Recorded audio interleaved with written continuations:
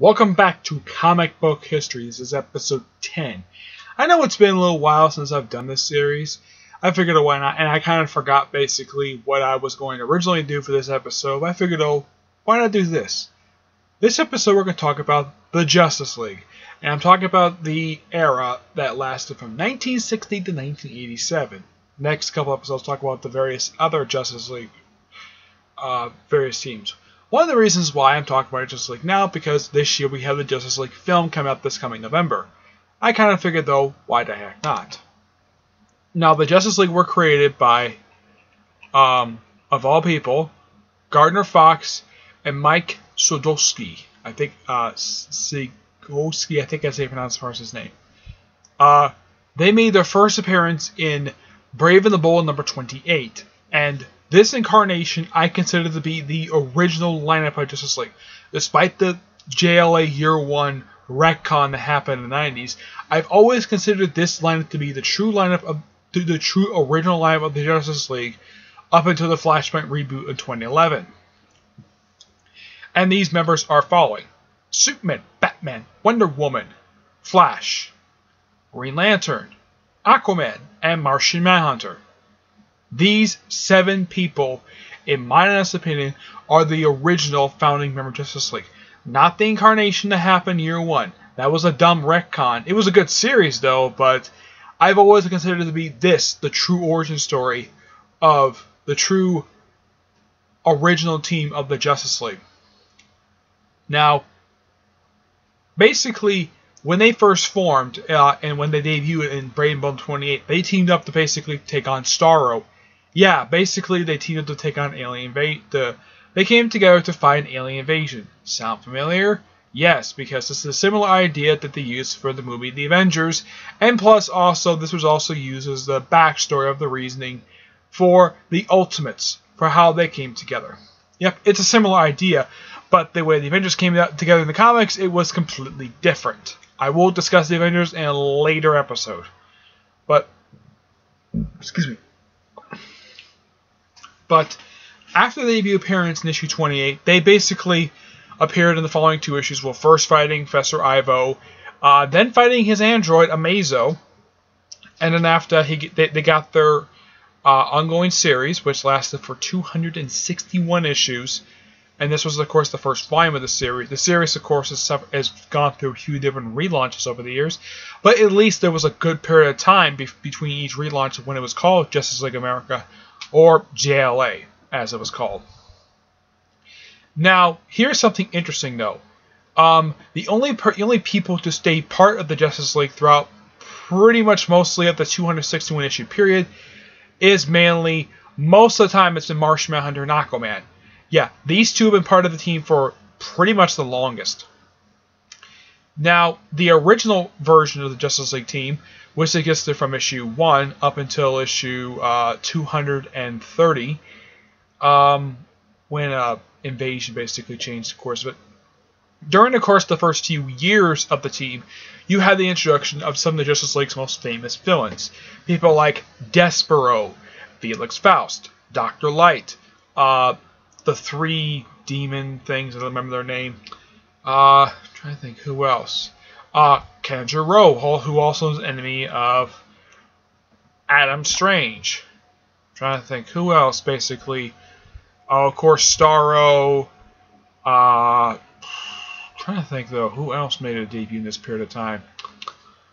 Um, hmm. Trying to think though.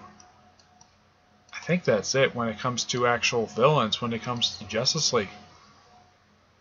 Uh, yeah.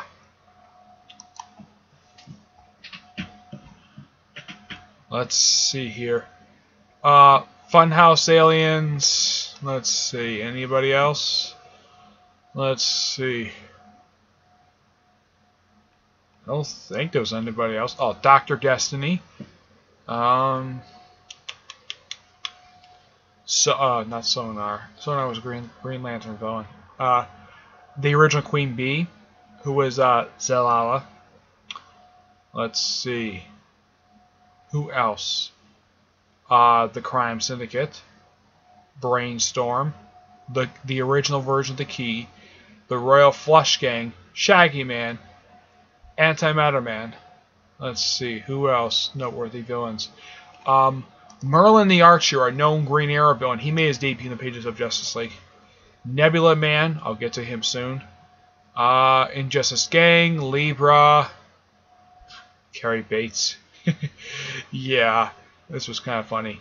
Uh, Nekron, not the same person who was basically started the uh, Blackest Night. The Manhunters, Construct. Um, let's see, who else? Um,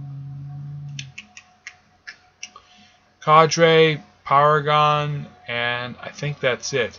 Yeah, these are the only known known villains that basically who debuted in the pages of the Justice League. Um, who basically fought them during this period of time. Now, they, they fought now originally during this period of time, the books were simply one-shot issues. Uh, it wasn't until the 1970s that they decided to change them, make it multi-part stories and also in the 70s they they basically now their original base operations was in fact the secret sanctuary which is the current location of Justice League America in the recent series done currently done by uh, Steve Orlando now the book itself has gone through a bunch of different writers the original writer of course was Gardner Fox there's people like Daniel O'Neil Gerry Conway who is the most who was practically the only person to write the highest number of issues and actually stay with the book the longest. He was with the book for nearly 20 years. Yeah, he finally left and then basically had the DeMatteis who basically did the last six issues, which led into the relaunch. Mm-hmm.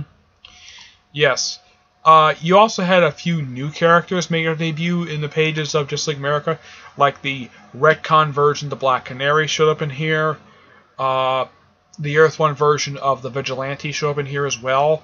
I'm trying to think who else. Oh yeah, the series was also known for the debut of the second uh, of the second uh, version of Citizen Steel, and also the original version of Vibe and Gypsy.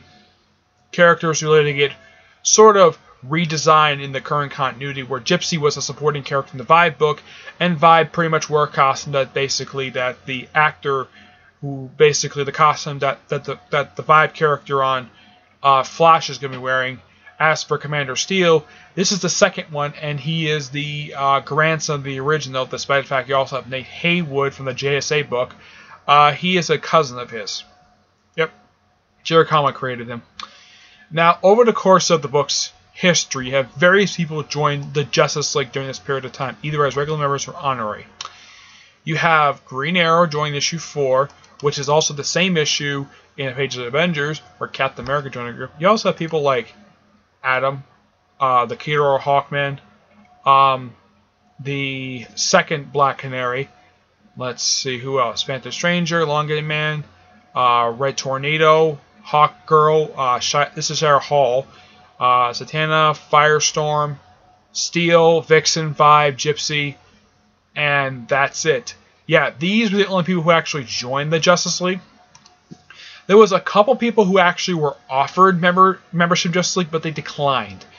Uh, these two people were Metamorpho and Black Lightning, two people who later helped, who basically Batman recruited as part of the founding members of the Outsiders. Now we'll get to them in a later episode. Now, in the case of Black Lightning, they did this over the course of two issues where he was asked to join Justice League, but he declined. He has later on joined the Justice League. Uh, Metamorpho himself did not technically join the Justice League. Uh, he didn't join until the Europe era when he joined in issue 24. Um, as for Black Lightning, let's see, when did it, when did he join the group? Um, not sure when, but oh, okay, here he is. Uh, he didn't join until the second volume of the series when it was done by Brad Meltzer yeah, he was the one who actually put him on the team because he had never been part of the team before, and at that point he, he was bald, and what those were, was wearing that '70s disco attire that he was not wearing. But, but uh, basically, about two years into the book, basically, I think this was during the period of time when the book was published. Uh, let's see. Yeah, during the period of time when the book was publishing eight times a year, this was about two or three years into the title, they started the concept of the annual team ups, which which continued up until the 1980s, where like every year, either for a two or three part story, sometimes even a standalone story, Justice League would team up with their Earth 2 counterparts, the Justice Society, a concept that will continue e- even to the present day, even after after Crisis of Earth. Excuse me, and for various reasons, either like excuse me, either fight some one-shot villain, a um, either that or villains from both sides basically would team up to take on these particular people, stuff like that. Uh, there's one other villain group basically who know from uh, be uh, frequent enemies Justice League, and that's the Secret Society of Supervillains. The only reason I didn't say they make debut in the page Justice League America because they made their debut in their own comic book. Now, the concept of these people were based upon the Masters of Evil from Marvel. Yeah, it's a similar concept, and plus known A-list villains, no part of the group, along with uh, you have people like the Injustice Gang. Uh, let's see. Basically, you have a bunch of different villain groups. Uh, the Royal Flush Gang is simply like the UFOs, just a group of people basically who wear costumes, not basically a gathering of villains like people tend to think of. Um, but that's how normally that th- these groups work. Uh, the crime syndicate is simply put like a lot of people who do know about the group. They're just an evil version of the Justice League. That's all they are. They just have different names, like Ultra, like Superman's called Ultraman, and there's also um, Warrior Woman. I think it's Superwoman, uh, Owlman, Johnny Quick, uh, Power Ring, uh, Deathstorm. Sea King, a bunch of other characters, but pretty much anybody who's. And here's something interesting though. Um, whenever they have whoever whoever's the Green Lantern at that point, they have their counterpart basically as a power ring. Heck, even John Stewart has had one. Um, yeah, it's just the first three. Um, basically, it's them basically filling the role, and of course also Thomas Wayne being uh, now, this Thomas Wayne is not the father of Bruce Wayne like it was in Flashpoint. This is his brother. Yeah. His name is Thomas Wayne Jr. That's how it's simply put when it comes to this particular character. Um, pretty much now the reasoning now they they did exist in the Secret Sanctuary for about a little over 70 issues and then they decided to change their base operations from the Secret Sanctuary to the Satellite, a known base operations for the Justice League up until the 1980s, and it was the concept was brought back in the 2000s. Why did they decide to move there? Because their headquarters was discovered. Their secret base operations were discovered by, of all people, the Joker. I am not kidding about this. Yeah, Snapper inadvertently told the Joker who where the, the secret base operations were for the Justice League. And the Joker broke in and, and, and was a character called John Doe. And when he was revealed to be the Joker, I'm like, sweet Jesus, the Joker. They did the same thing in Young Justice as well, of why the Justice League moved from the secrets from Mount Justice, what it was called in that show, to the satellite. The reason why, because the Joker broke in. I thought this was so hilarious. And then, of course, like right in the following issue, when Justice League moved to the new satellite, they uh, the vigil- the Earth One vigilante show up in the issue. Now, this is his only little appearance because during this period of time there was only just the version that exists on Earth One. This is the Greg Sanders version, not the uh, version created by Marv Wolfman George Perez in the 80s. Completely different character.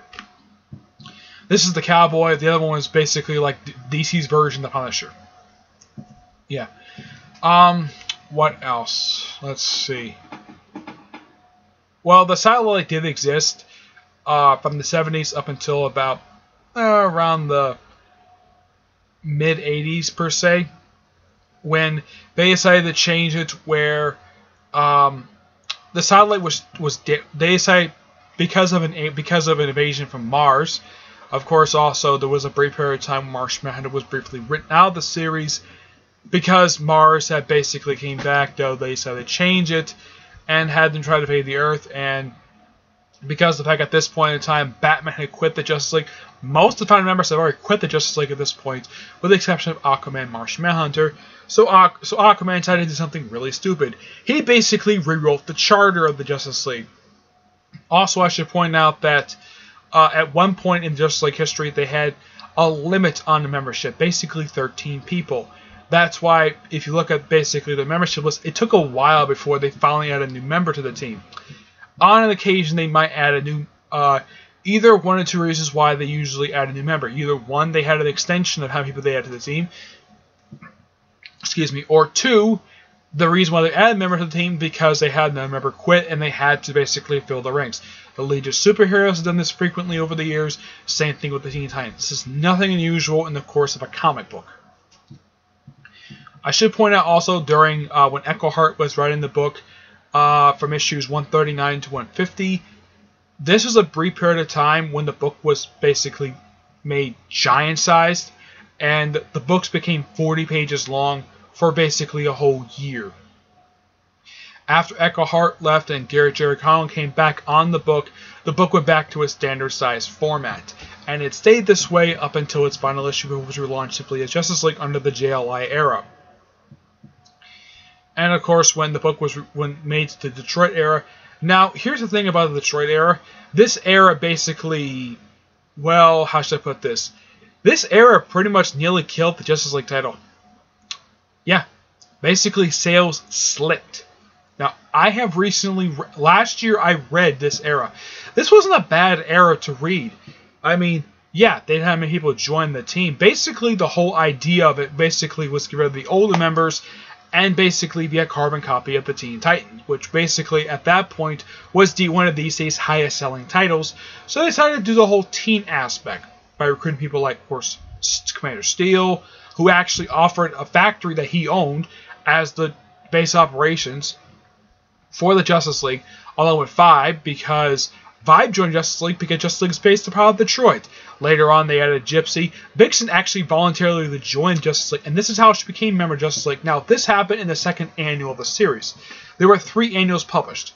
Uh, the first annual, which allowed the the uh, the second Sandman, the Garrett Sanders version, um, who was a creation Jack the King Kirby. He actually joined the team as an honorary member of the team, and it was a good annual, by the way. And the second annual, because of the whole alien invasion thing uh, on Aquaman, basically. Now, Gypsy didn't join the team. It's about six issues into the era of the Detroit. The Detroit era wasn't too bad. After the first year of the Detroit era, because probably of the sales slipping, the uh, the original base operations when they were Detroit era was basically deemed they were basically evicted from it, so they decided to move back to Secret Sanctuary and they set up their own teleporters in the thing because, of course, the satellite had one too. An interesting thing about the satellite the satellite was in ruins. Yes, seriously, it was in ruins. It had been that way because of because of Red Tornado activating the station's self-destruct sequence and basically turning things to ruins. Heck, when even when Despero came back, he was shocked to see the base operations destroyed. But the neat thing about the base operations is that the Justice League was the first time ever that a superhero team had a space station as their base operations. Marvel so far has never officially kind of they kind of have explored this concept with the Alpha Flight program, but an actual superhero team based in Earth orbit. The only kind of closeness they had to this is, is basically the Future Foundation, when he had a space station called the Foundation, which only existed in the pages of the of the comic FF. A space station that was barely around even after Hickman stopped writing the title. But the only super team to be officially based upon a space station is the Guardians of the Galaxy. They're the only ones who've actually done that. Uh, but of course, that was nearest of the galaxy in the comic. But in the case of superhero teams of Earth in Marvel Comics, they've never officially explored this concept except when it's a government agency or a, a space program. But an actual superhero team based on a satellite, that is something Marvel's never explored. DC has explored this concept, and the Justice League currently is the only team to ever do this. Now, villain teams have made have had their own version of, of the secret satellite. Uh, the Injustice Gang have done this. So is Secret Society of Supervillains. Uh, one of the versions, because the, the original version was based off a skyscraper. Yeah. And you have various villains. Basically, a lot of the time was B or C list. It, it wasn't as bad as the Injustice Gang was in the 80s, where it's basically a bunch of C listers. Basically, half the time when you look at the Secret Society of Supervillains, like their early version of them, mostly comprised of Flash villains. Not kidding. Flash villains. And of course, there was other like Batman, Superman villains part of the group. Heck, there was even a group called the Anti-Justice League that appeared for one issue of Action Comics and formed by Queen Bee of all people, and Count Vertigo, not Count Vertigo, uh, Merlyn the Archer, and and uh, Cut the Boomerang as part of this group. It basically, it's just an evil rouge, and it just basically the Count counter for Justice League only appeared for one issue of Action Comics. But this was a pretty interesting era of comics to read. Um, if you ever get a chance, go and find these books. These are really, really good books. Despite the fact the early stuff is kind of goofy, it does get a lot. It does. It is pretty interesting to read. Uh, DC has collected most of this, at least about most of this era in the case of the showcase books. Uh, there have been about five released, and they've only got to, I think, about six released, and they've only got to 132. They've never gone any further than that. Nope, they never have. Excuse me. I was able to read these issues online for free. I'm not gonna. You have to ask me personally what site I have I went to in order to get uh, a chance to read these books. But every single book is really, really good. Um, there's no bad issue when it comes to Justice League. Heck, even when it was the Detroit era, I didn't think it was bad. I thought it was still interesting. At least it was still good concept. Uh, toward the end of the era, they added they added Batman to the team. But um, even after they had Batman to the team, this did not help the title. Basically, eventually the title was canceled and relaunched as simply as Justice League. Now I will talk about the JLI in the next episode. But basically, this particular era, the first 27 years of the Justice League of being around, Currently, as of as of right now, the group has been around for 57 years, and DC has always had the Justice League. Not much in the case of Justice Society, but they've had always a Justice League. Okay, um, I'm trying to think though, was there anything else? Oh yes, I almost forgot. Uh, when the book celebrated 100 issues, they had it where um, they had their annual team up with the with the with the Secret Justice Society. Apparently, was their hundredth team up. I have no idea how they explored this. And they also found a way to team up with the Seven Soldiers of Victory, another superhero team that operated in Earth Two. Multiverse concept. They had this back then. Not much in the case of now, when a lot of superheroes may be on the same Earth. I'm trying to think. Oh yeah, Nebula Man was was the main villain of that story. Um, of course, the cover of that first issue of, of the Hunt issue was reused for uh, Titans Hunt number one. It's basically the same cover, just switched out just like stuff with uh, uh, the Teen Titans. I'm trying to think though, what else? Uh, they had a three-parter where they uh, fought the fought Starro again in this epic three-parter. They fought the Secret Society of Suit Villains many times over the course of the title uh, during the course of this era.